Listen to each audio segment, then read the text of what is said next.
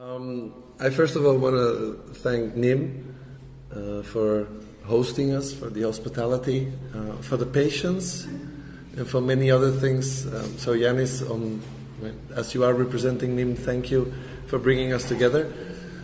Um, I've been telling quite a lot of people that we have an exceptional lineup. Uh, and it always sounds terrible if you introduce people with these words. We have an exceptional lineup. We have four great speakers. But to be honest, we do. They're actually um, sort of the dream team of discussions on community media, community art, and democracy.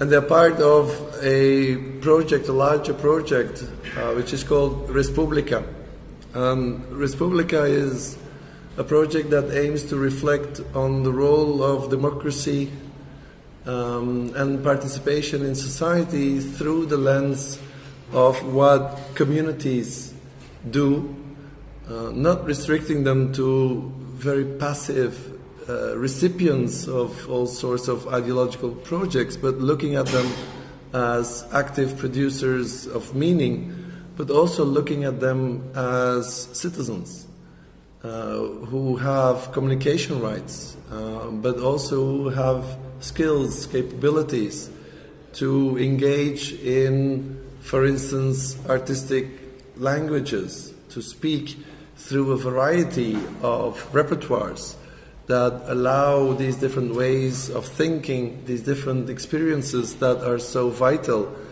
uh, in their diversity that allow them to circulate throughout our societies.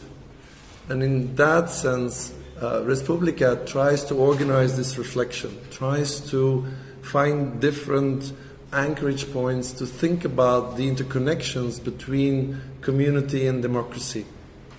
Now, today's panel, remember with the Dream Team speakers, today's panel tries to organize that dialogue by looking at community media, community arts, um, the democratic use of media, the idea of the commons, is there very much looking at these intersections of community and democracy. So that's the basic idea, and I, uh, I hope that you'll enjoy the Dream Team, uh, as I've now repeatedly mentioned them.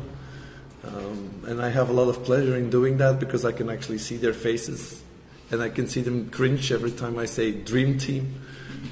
It produces an in- incredible pleasure from my side, at least. We'll have that dream team present to you. I did it again, I'm sorry. Uh, present to you in the order that is in the program. So we start with Vuk, then we go to Pascal, then we go to Helen, and then we go to Nikos. Uh, if they feel like introducing themselves more extensively, I'll be happy to leave that to them. Um, it's, if they prefer a mild version of anonymity here at the front, that's fine as well. Uh, but we'll have four presentations. I won't even read the titles aloud. You have this wonderful uh, leaflet that will guide you through this, uh, this set of talks. We'll have them in the order as they are in the program. They'll each speak about 25 minutes, and we'll have questions and discussions at the end. Uh,